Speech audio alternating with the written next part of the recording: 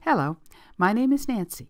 In this tutorial, I'll show you how to use the REST API to query your Oracle Service Cloud database using syntax that's similar to SQL. The REST API lets you use something like select and where clauses in your queries. Let's look at the where clause first.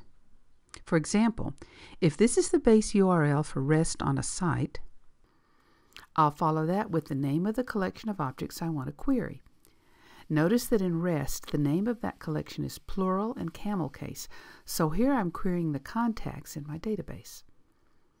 Then you put a separator question mark after the collection, followed by a Q and an equal sign, and then the filter clause, like this. And of course, this part after the equals looks like a where clause.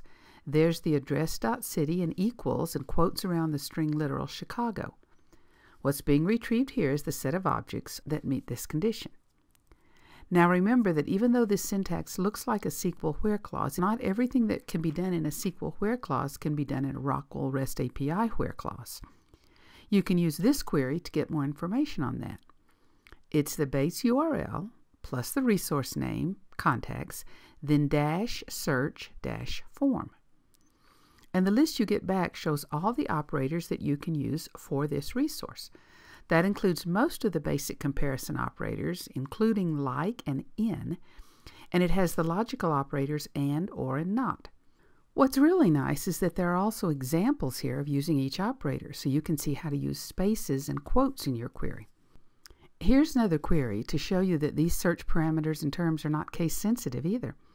Now to me that's surprising because though I can see that name.first might be either lower or uppercase, I would think that at least the term that's quoted would be case sensitive. But no, this query will find either uppercase or lowercase or mixed case bobs. And here again are spaces within the URL around the equal sign. In this case, but not in every situation, you can leave them out or put them in. However, the single quotes are required and must be single, not double. But of course, you'd probably expect that. And now let me show you that there's also another form of query that's similar to the SQL select clause. Instead of querying for particular collection, you'll add slash query results slash to the end of the base URL. That is, in the place where the name of the resource collection would normally go.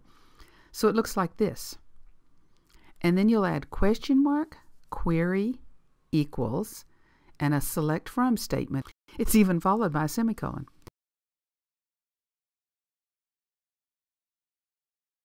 Remember this slash before the question mark. Notice you've got a required space here after the word select and around the word from.